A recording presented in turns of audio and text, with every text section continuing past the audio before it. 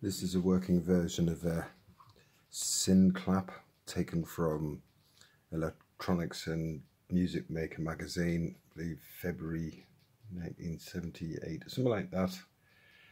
Uh, I'll post the link uh, in the comments below, in the description as well.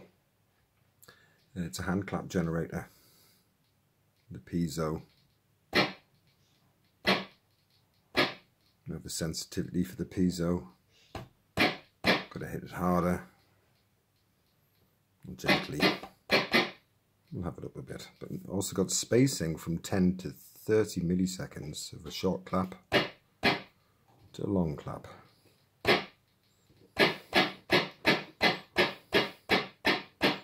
Kind of. This is a prototype. So it's not working great and there's some clicking going on you can hear. It's coming from this. There's some so many wires and so many open, you know, components.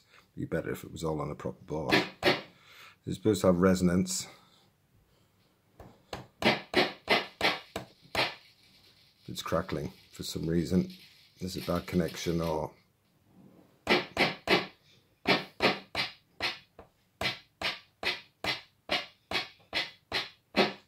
kind of jumps about a bit. I think it's the pot frequency this jumps about as well.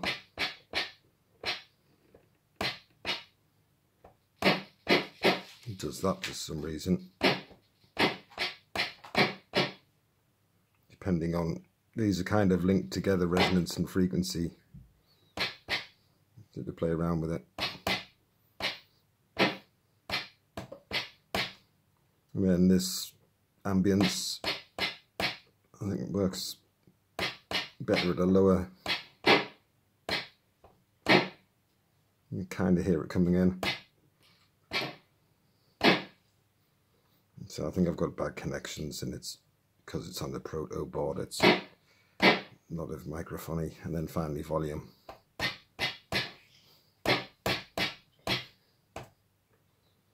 So yeah it needs refinement. This is the prototype for the Amdek hand clapper because a few months after they produced this circuit in the same magazine they released the circuit diagram for the Amdek uh, which was a factory piece and better than this one I believe. Yeah put some music on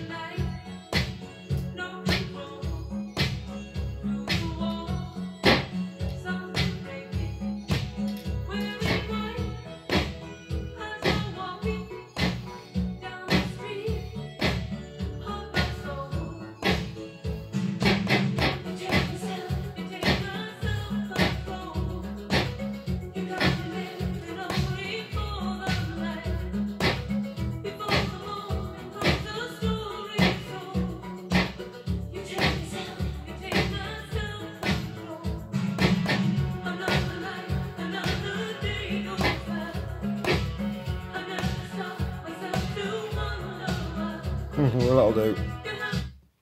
You get the idea. So, despite it being on a proto board and its little glitches as a result, it works quite well. So, um, basically got a, the trigger uh, set up here, along with the white noise generator here. There's a set of uh, logic gates here to give you the required pulses um, you get a, a, main hit through then another three or four coming off this. Uh, these is a VCA done with an LM13700 uh, one on either side. Uh, this is a 7-bit counter. So the NAND these uh, logic gates fire the clock here and we're taking off our signal from here somewhere.